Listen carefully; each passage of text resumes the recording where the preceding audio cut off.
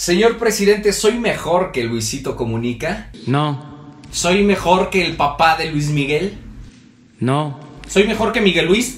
sí, ¡A fuerzas! Llegamos a la siguiente fase. el inicio de la fase 3 de la pandemia. Él no es Gatel. La declaratoria oficial de la fase 3 Ella no es Gatel. Hoy queremos dar por iniciada la fase 3, la fase 3 de la epidemia de COVID.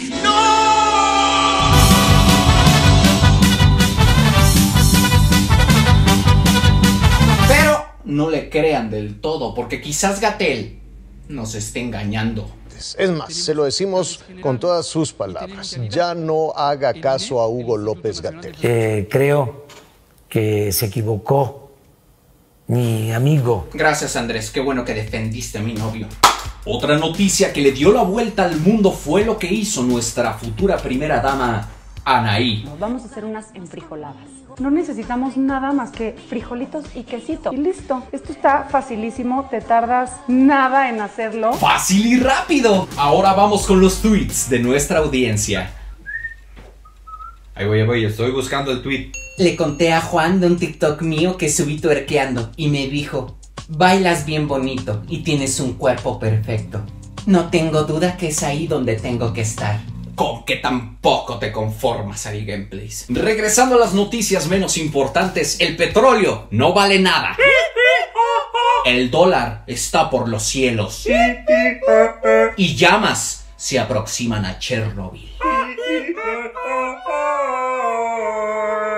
Pero tranquilos, vamos a cantar Cielito Lindo. Vamos, canta y no llores. Cielito lindo que a mí me toca. ¡Vamos, México! Afortunadamente tocó el 420 esta semana y nos pudimos desestresar un ratito. Estoy al 100. Tararara, It's the motherfucking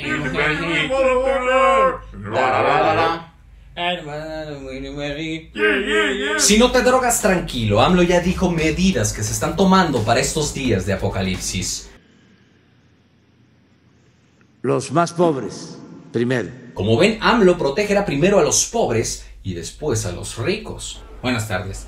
Eh, quería ver si me podría ayudar. Lo que pasa es que estoy desempleado y tengo a mis dos hijos y a mi esposa desamparados. Mira, aquí en la lista dice que usted tiene coche. Eso lo pone en el papel de medio rico. Pero todavía no es mío, lo sigo pagando. Siguiente. Buenas tardes, señor. Mire, yo ya estoy muy enferma y ya no tengo medicinas. Quería ver si me podría ayudar. Yo voté por Andrés Manuel. Claro que sí, señora, le vamos a ayudar, solo que después de los 745 mil casos que son más importantes que usted. Pero señor, yo ya no tengo medicinas, me voy a morir. A ver, señora, no saca la tonta, ¿sí? Usted tiene casa con puertas y ventanas. Aquí estamos atendiendo primero a los jodidos, ¿sí? Así que no venga a presumir. Siguiente.